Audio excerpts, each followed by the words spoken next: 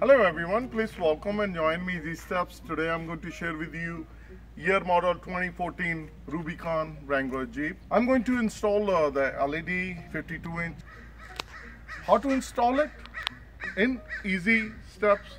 That part I'm going to share with you. I'm going to install the bracket. You really don't need to drill any holes on your Jeep. The existing bolts, you can take it out and you can replace it with bracket and that bracket can support your LED bar. This is really nice bracket. It has a holes, three on this side, two in the front.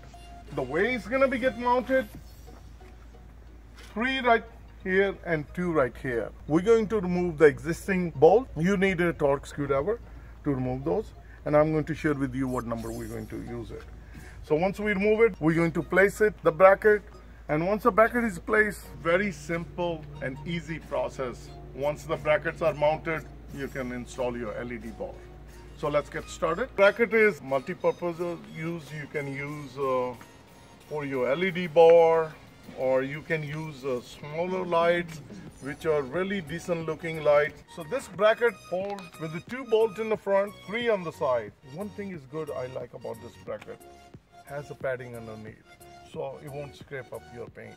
We're going to use a Torx bit and uh, I'm using a T30 remove it keep those bolts in a safe place so this is the fifth one so you install it like this and you always do the hand tie.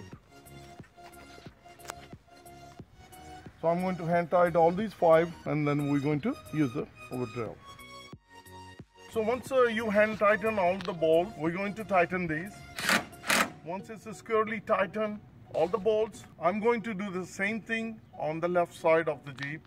And that's how it's easy to install a bracket on your Wrangler Rubicon Jeep.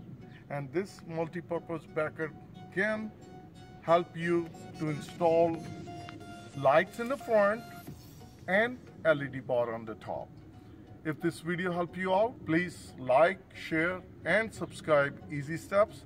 And I'm going to list the part number under the description, so please check it out. Thank you. Bye-bye.